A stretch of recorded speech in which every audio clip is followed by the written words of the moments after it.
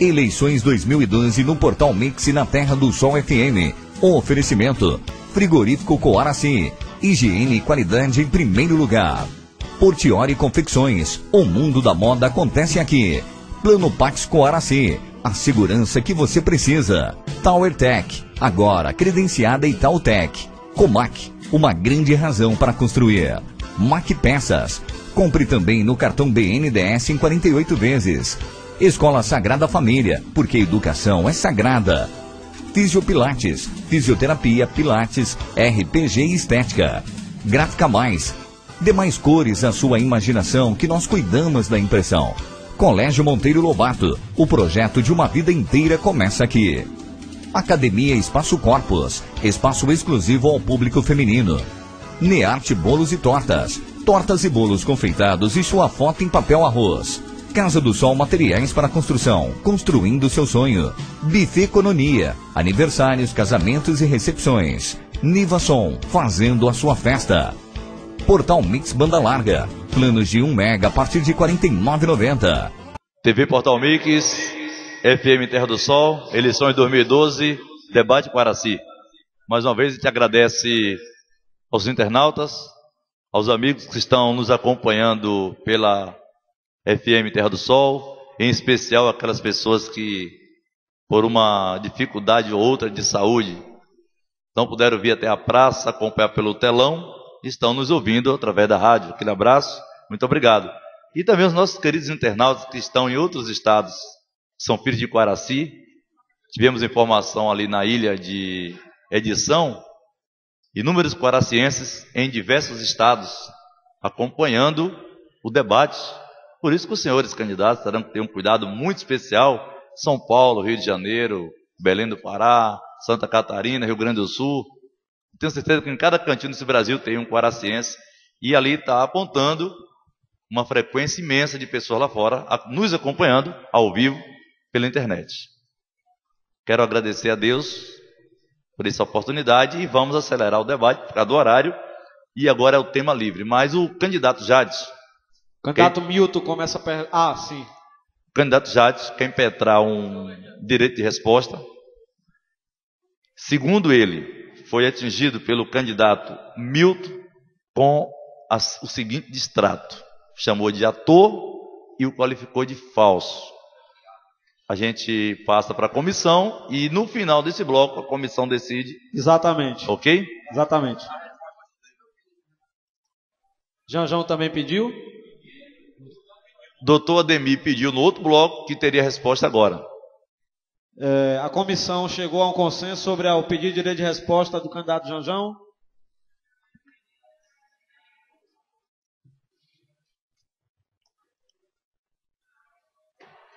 A comissão chegou a qual consenso? Não foi concedido o direito de resposta. Por do, dois votos a um. Ah, peraí. É, o candidato Janjão questionou efetivamente o quê?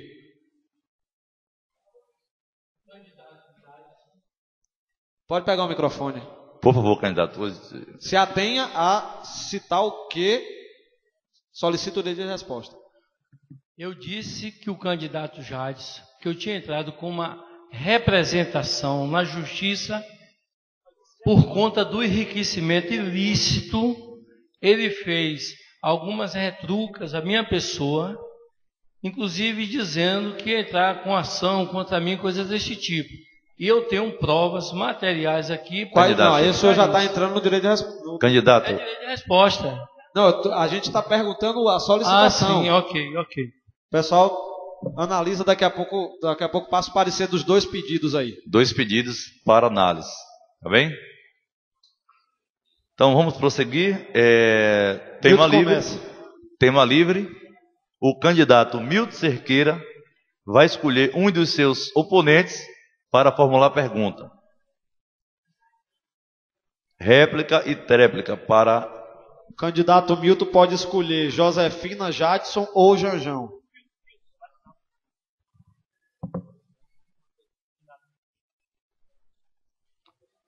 Vou aproveitar e dar logo o direito de resposta a Jades. Por isso eu passo a pergunta para ele.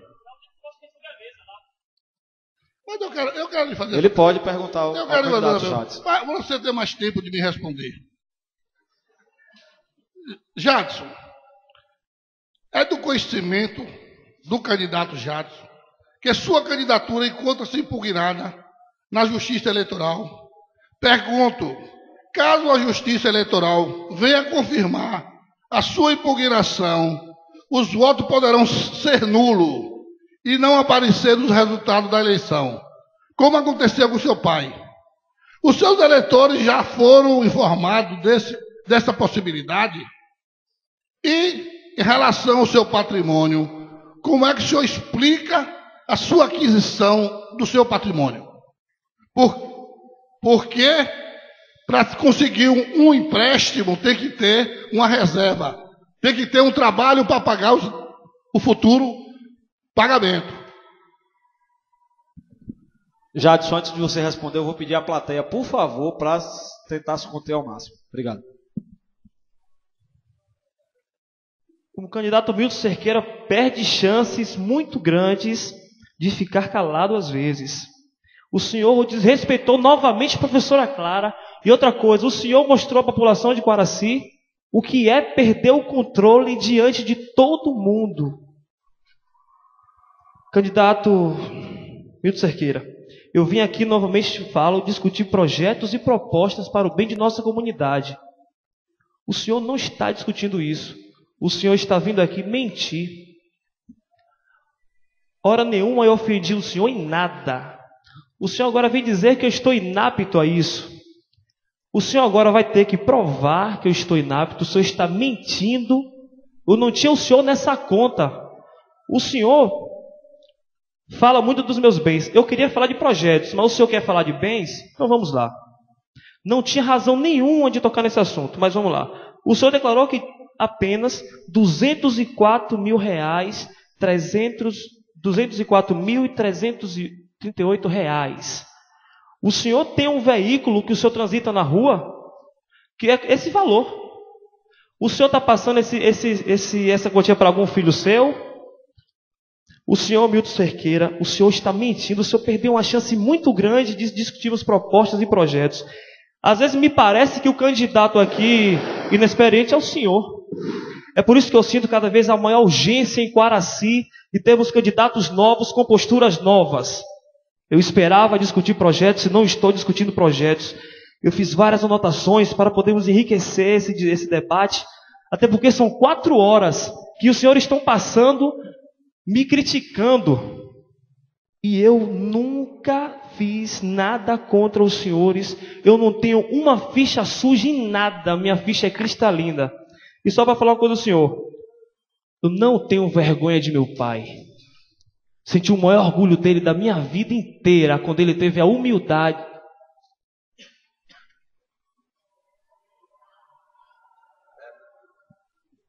Candidato Milton com a réplica. Ah, meu amigo, você vê quanto o rapaz é inexperiente. O meu patrimônio é valor venal. Eu só tenho fazenda de cacau é valor venal. Ele não sabe quanto, quanto a gente resiste ao valor venal. Eu tenho fazenda de mais de 20 anos. Fazenda que eu comprei, ainda por muito pouco. Agora, trabalhei, progredi, hoje tenho minha declaração de renda, vendo em torno hoje, vendo em torno hoje, tenho condição de dizer, de 8 a 10 mil arrobas de cacau. Porque minhas fazendas são produtivas, porque eu trabalho. Vendo a Coelho ali, é, seria o nome da empresa. Só esse ano já vendi mil sacos de cacau aqui a Valdec. Porque eu progrido, eu trabalho.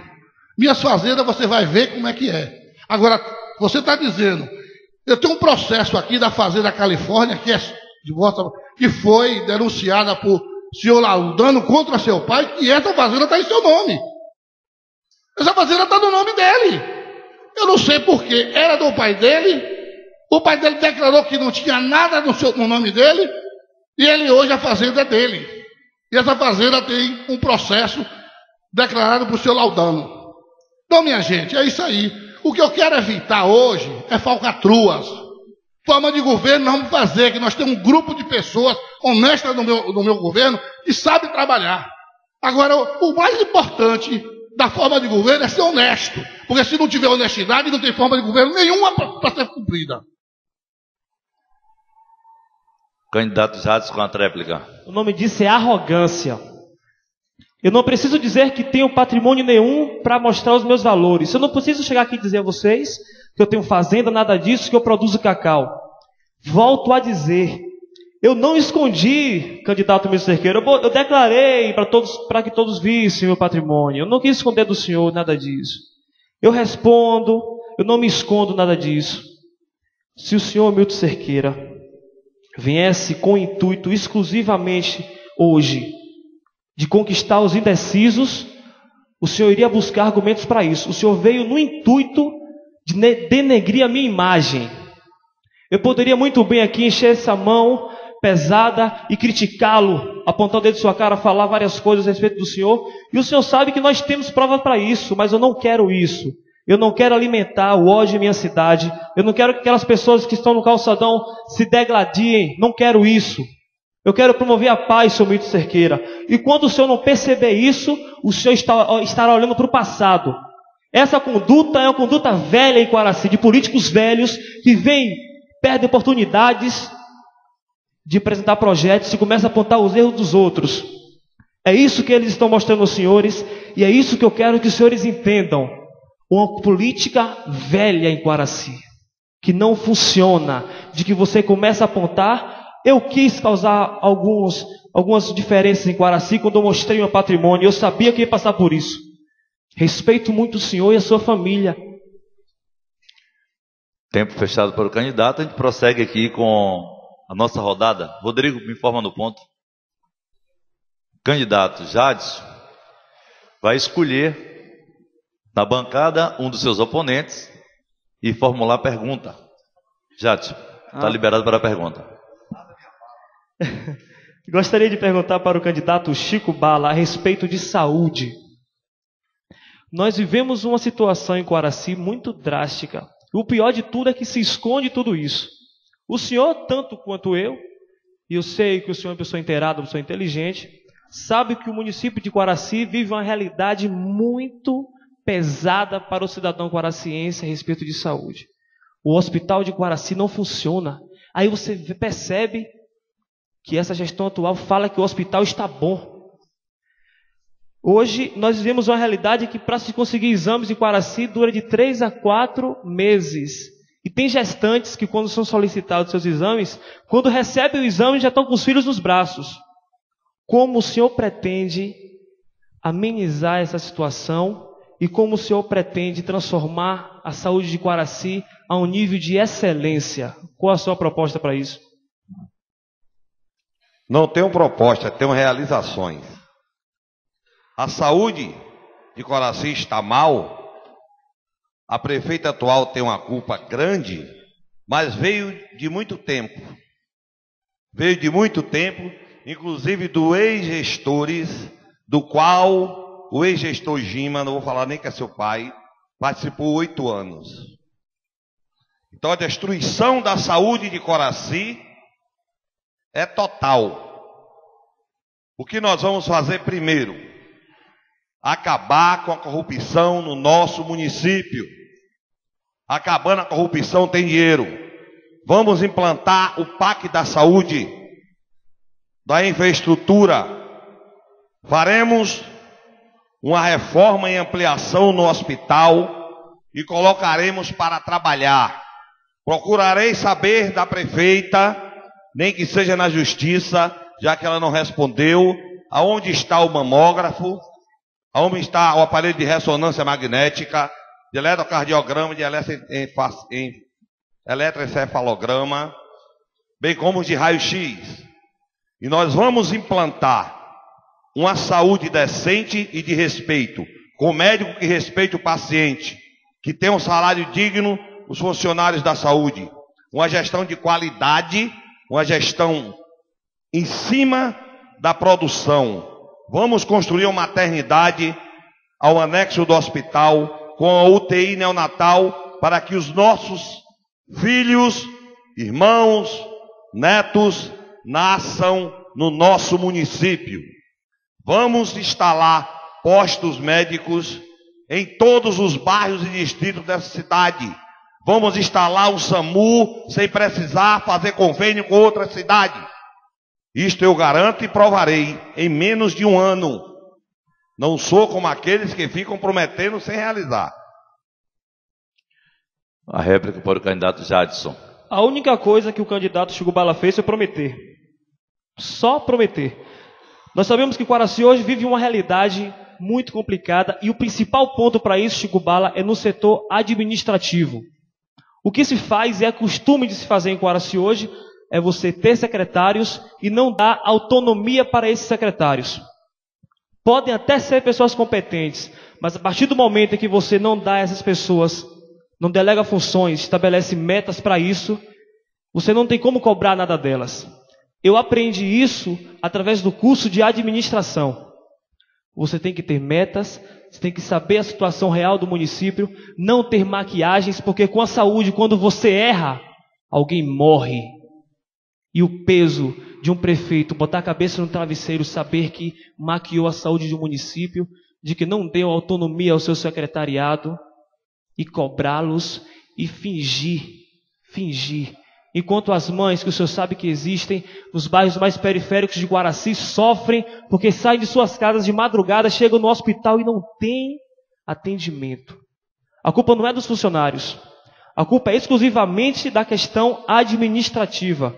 O hospital passa por uma crise hoje porque não tem um gestor de qualidade. No nosso governo, nós vamos procurar pessoas capacitadas porque temos que ter uma saúde integrada com educação, assistência social. A partir daí a saúde de Guaraci irá avançar. Caro amigo Chico Bala. Percebo que talvez o senhor não conheça a história. Pois se existe culpa de alguém sofrer, não conhece a administração de seu pai, do primeiro governo, quando fez os funcionários se botarem fogo com gasolina porque não recebiam o pagamento. Será que isso preocupou? Será que o senhor tem conhecimento disso? Percebo também, candidato Jadson, que a roupa humilde que o senhor tirou para se dirigir ao povo, o senhor teve vergonha e escondeu através do seu traje fino. Candidato, isso demonstra, seu local, por favor, seu local, por Isso favor. demonstra simplesmente que o senhor é apenas a maquiagem que fala da saúde. O senhor é a maquiagem da administração. O senhor disse que fez no curso de administração e disse que não terminou. Então o senhor não fez nada. O senhor talvez seja um leigo, não apenas na administração pública, mas também na administração da vida sua. É preciso que o senhor saiba. Interessante eu percebi. Se fosse lugar de resposta do lado de lá, você estaria frito. Porque toda pergunta que ele faz, você olha para o povo para saber como vai lhe induzir o seu pai e os cinco advogados. A humildade da roupa acabou de cair. A humildade do homem que nunca teve está aqui comprovada. Humildade não se compra, se nasce. E duvido que a professora Clara tenha lhe ensinado a rejeitar o seu pai por causa. Conclusão do tempo do candidato Chico e do candidato Jadson. Agora, candidato Chico Bala vai escolher na bancada o seu oponente para a pergunta. Vamos analisar aqui no gráfico, Judásio. O candidato Chico, ele só pode perguntar agora ao candidato Janjão. Ok, para finalizar, exatamente para responder aquela pergunta do candidato Janjão inicialmente. Enquanto isso, eu quero pedir à comissão que já nos passe o resultado dos dois recursos impetrados no início da, do bloco. Candidato Janjão, vendo o seu programa de governo, vi na educação, saúde, indústria e comércio, agricultura, assistência social, cultura, esporte e lazer, infraestrutura e urbanismo, administração e meio ambiente, percebi que o senhor faz várias promessas, das quais já está inclusa na Lei Orgânica Municipal de 5 de abril de 1990 e na lei de diretrizes orçamentárias e no plano plurianual do mesmo ano. E o senhor, nos seus dois anos e nove meses de mandato, após a promulgação da lei orgânica, não realizou aquilo que promete hoje. Como espera o senhor que o cidadão de Coraci possa acreditar que vai realizar essas promessas? Se o senhor fala que o município não tem dinheiro e sempre achou que são apenas propostas daquele que o senhor considerou e considera um sonhador, que é Chico Bala. Candidato Chico, eu nunca disse que o município não tem dinheiro. Eu tenho dito ao contrário, que o município tem tanto dinheiro que a corrupção que está impetrada na prefeitura está deixando muita gente rico. Eu, talvez, Chico, da história desse município, eu fui um dos prefeitos que mais construiu em Quaraci. O prefeito que mais construiu, sem atrasar um dia de salário, sem prejudicar a saúde, porque quando eu ganhei a eleição, vieram me dizer, eu fui convocado para uma reunião no Hospital de Quaraci, Santa Casa de Misericórdia, de Misericórdia, para dizer que o hospital ia ser fechado no dia que eu tomava posse, 1 de janeiro de 89. Eu pedi 15 dias de prazo. E nesses 15 dias fui a Salvador e trouxe de Salvador equipamento, medicamento e o que podia fazer aquele hospital funcionar. Aí ficou uma preocupação. E a folha dos servidores do hospital, eu mandei no final do mês saber quanto era. Na época era 42 mil, eu mandei em dinheiro Dona Antônia pagar. Então eu investi muito na saúde, na educação, no lazer, em obras. E hoje esse plano de governo é extremamente viável, porque além do município ter muitos recursos, nós vamos buscar os recursos que deixaram de buscar no passado. Por exemplo, eu já disse aqui, o município deixou de receber 400 casas populares do programa Minha Casa Minha Vida. Está perdendo muito dinheiro que pode ser buscado no governo estadual e no governo federal. A prefeita, quando era candidata, dizia que só ela podia ser a prefeita de Guaraci porque tinha o governo do estado e o governo federal do seu lado. Entretanto, a gente não vê em Guaraci uma obra, nem do governo estadual, nem do governo federal. Uma... Réplica é o candidato Chico Bala. Será que o candidato já não se lembra que quando foi prefeito eu era vereador junto com algumas pessoas que se encontram aqui e nós conhecemos a história do município, talvez até melhor do que o próprio candidato, pois tínhamos conhecimento da lei orgânica. O senhor fala que fez muitas obras, fez algumas, poderia fazer muito mais. Dotações foram colocadas dentro do orçamento para que o senhor fizesse, as provas estão ali. Agora eu digo uma coisa: o senhor falou que fez muitas obras, mas e o, o povo? E o funcionário? Por que o funcionário não foi lembrado? Por que o quadro de funcionário não foi devidamente planejado? Por que não houve um, um, um regime jurídico único? Por que não houve uma previdência social auxiliar? Por que não houve a criação de um parque industrial? Por que não houve criação dos conselhos, que aí não puderam fiscalizar a prefeitura? Porque todos os funcionários foram esquecidos e são até hoje. Dentro da lei orgânica está lá, mas nós nos preocupamos foi com um funcionário. E, infelizmente, nenhum prefeito, inclusive o candidato Janjão aos um, dois anos e nove meses, dois anos e alguns meses depois da lei orgânica, também não fez questão de se interessar pelo quadro de funcionário do município, que ficou realmente, como até hoje está, a sofrer as consequências. Tréplica ao candidato Janjão. Meu caro Chico, parece que a desinformação vem de sua parte. Porque você se elegeu vereador em Tamutinga, pelo Itamutinga, e logo depois foi morar em Tabuna. E a resposta veio na eleição seguinte. E você teve um mínimo de voto dentro de Tamutinga.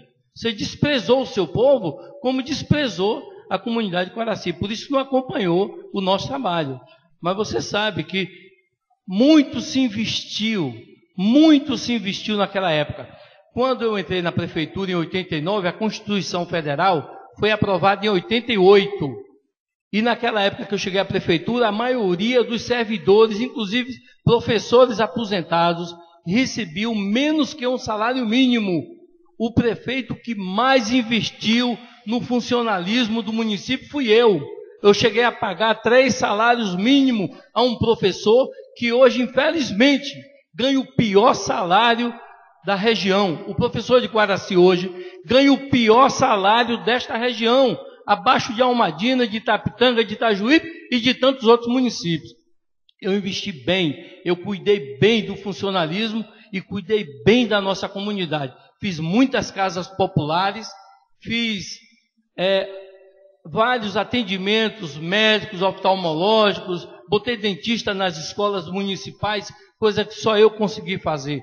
Hoje eu quero voltar, Chico, à prefeitura para fazer muito mais, porque o dinheiro existe e os recursos do.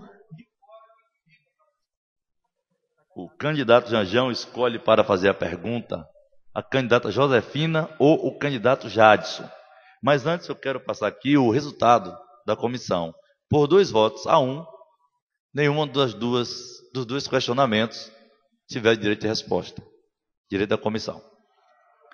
Então, candidato Janjão, por favor, escolher candidato Josefina ou candidato Jades para fazer a pergunta.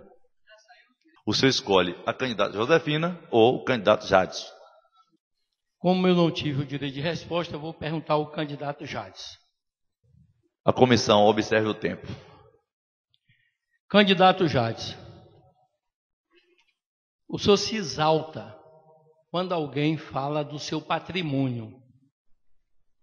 Que eu denunciei na justiça, assim como foi denunciado anteriormente pelo atual prefeito de Itabuna, José Raimundo Laudano, quando o seu pai, o seu pai que financia a sua campanha, comprou a Fazenda Califórnia e ele entrou com uma representação judicial por enriquecimento ilícito do seu pai. O senhor disse há pouco que mentindo, o senhor mentiu, dizendo que comprou a Fazenda Califórnia na mão do seu Zé Carbajo, José Arbage, por, pagando 5 mil por mês. Não é verdade. Seu pai comprou a fazenda por 300 mil reais, deu 100 mil de sinal e mais dois cheques de 100 mil. Além disso, foi comprada a fazenda de João de Deus por 347 mil reais. Foi comprada a fazenda de Gesso Herminho de Jesus por 147 mil reais. E o senhor, além de tanto.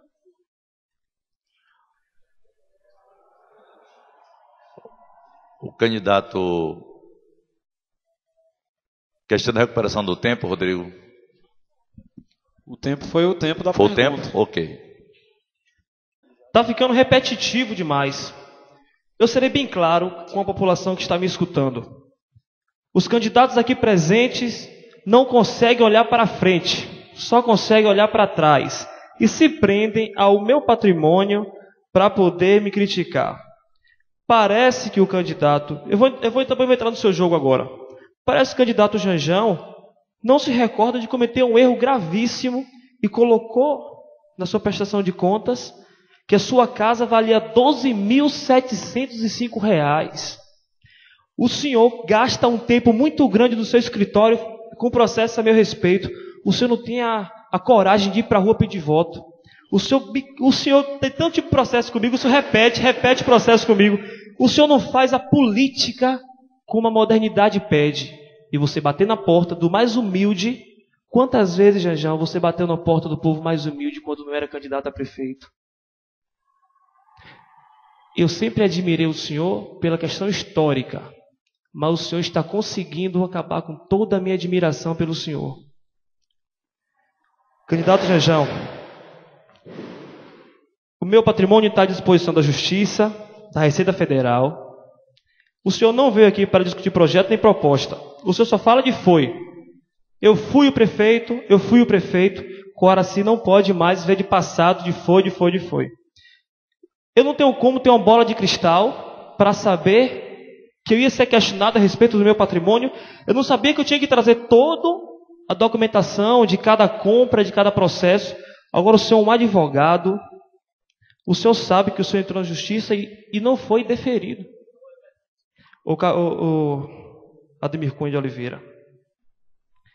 Queria dizer ao senhor que eu serei prefeito de Quaraci para acabar com todo esse passado de candidatos que não discutem projetos, só fazem apontar erro dos outros.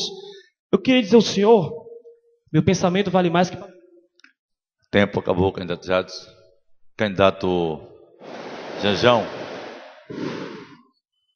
O grande problema de Guaraci é exatamente porque no passado cometeram tantos erros, foi tanta corrupção, foi tanta roubalheira que Guaraci hoje se encontra nesta situação. O senhor está dizendo que o processo foi julgado. O processo, o senhor está mentindo mais uma vez. Quem mente rouba. O processo não foi julgado. O processo está no Tribunal de Justiça da Bahia. Eu pedi na Justiça que se verifique a declaração dos bens do candidato Jade, se é compatível com o seu rendimento, já que o senhor nunca trabalhou na vida. Que seja requisitado cópias do processo judicial que corre na vara da, da, da Justiça Federal de Ilhéus contra seu pai, Joaquim é, Gima.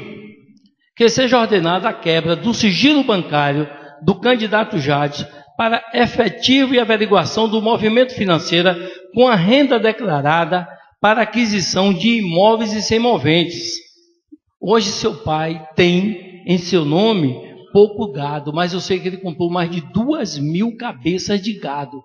É isso que Quaraci está sofrendo, essa desgraça que o povo de Quaraci está engolindo, está engolindo. Sabe por quê? Porque o dinheiro que devia ir para a saúde, o dinheiro que devia para a educação, para fazer novos investimentos na cidade, e eu vou ser prefeito para construir mais do que eu construir, e o senhor não vai, porque o senhor faz uma campanha mu muito cara, e se o senhor chegasse à prefeitura, não vai chegar, ia tirar de lá para pagar. Candidato Jades, com a tréplica. O que o senhor não entende é que a prefeitura não é uma casa de câmbio, a prefeitura não é uma casa de troca. A prefeitura não é um local para você retirar o dinheiro que gastou em campanha. A prefeitura, para mim, é um local de respeito, senhor Demir Cunha de Oliveira. Hora nenhuma eu vi o senhor caminhar na rua pedindo voto. O senhor me vê fazendo isso. Eu estou na rua tomando sol, tomando chuva, porque eu entendo que a principal atitude coerente com o povo é ir nas casas das pessoas. O senhor, o senhor vai de carro com o ar ligado na casa de pessoas bem humildes. Candidato é, Aldemir Cunha de Oliveira. O meu patrimônio não é questão de me julgar bom ou ruim. Quando você fala que eu não trabalho, o senhor me ofende de novo. O senhor nunca andou comigo quando eu saí de Salvador. Porque meus irmãos faleceram. Vou ser bem claro com o senhor. Eu abandonei tudo para ficar nas fazendas trabalhando com a minha família. O Senhor não me via na rua, o Senhor não me via na noite, o Senhor não me via em lugar algum. Eu fiquei nas fazendas tomando conta do que era o meu patrimônio. O Senhor não tem o que dizer de mim.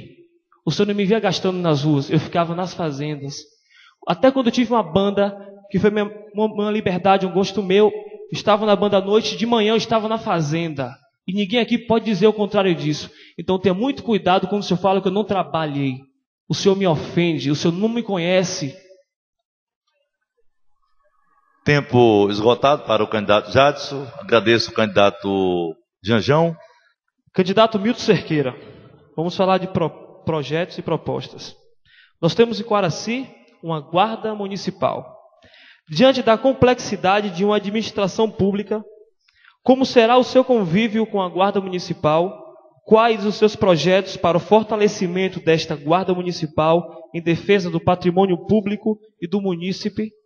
E qual o seu pensamento a respeito da situação da atual cadeia pública e da segurança de Guaraci?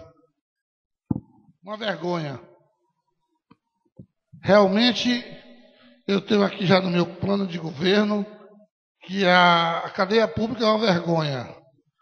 A Guarda Municipal também não tem estrutura nenhuma, não tem condição de trabalho e muito menos farda. Está aqui como vai ser a cadeia pública, porque eu não sei se você já sabe, mas eu já fiz um ofício ao. Por favor, eu já fiz um ofício ao meu deputado federal, Márcio Marinho, e ele já, já levou para a segurança pública, que foi recebido. Você está vendo que já, já tem assessores? Outro assessor. Jadson, você vai ser um grande assessor. Então, minha gente, daqui, ó, é uma vergonha o que está acontecendo. Infelizmente, a nossa prefeita esqueceu da segurança pública. Ela foi uma grande prefeita, segundo ela, mas na segurança pública ela deixou a desejar. Porque a nossa cadeia está aí há mais de dois anos que foi destruída e nós não temos nenhum recurso para reformar ela. Então, Jadson, você pode ter certeza que vai ser uma das primeiras coisas. Os presos de Guaraci estão tá indo para uma Dina que é apelidado de cadeia de papelão. E isso, meus amigos, vocês veem que situação nós, nós estamos. Uma cidade que é bem maior do que outra, sofrendo essas consequências. A guarda realmente não trabalha, a guarda não tem guarda na, na cidade de Coraci. É tudo abandonado. O, o, o, o calçadão vive aí ao léu, à toa. O centro comercial, o centro, o centro comercial vive tudo quebrado porque não tem guarda. E isso pode ter certeza que vão fazer uma guarda de vergonha, uma guarda que dê dignidade a Guaraci. Com a réplica, candidato Jadson. Candidato Milton Cerqueira. O senhor está ligeiramente enganado. Guaraci hoje tem 33 guardas municipais. Agora o senhor está certo até algum ponto. Esses guardas municipais não têm nenhum tipo de apoio esses guardas municipais estão sendo abandonados. Foram três anos e meio de abandono. A fada que foi oferecida a esses guardas municipais é uma vergonha. Eles compraram as fardas, as fardas deles com o dinheiro deles. E é exigido dessas pessoas que tome conta do nosso patrimônio. Então não adianta construir nada se você não dá condição para a guarda municipal de proteger o patrimônio público de Guaraci. Se cobra muito, mas se dá pouca condição de trabalho às pessoas. A cadeia pública de Quaraci é um motivo de vergonha, como o senhor disse.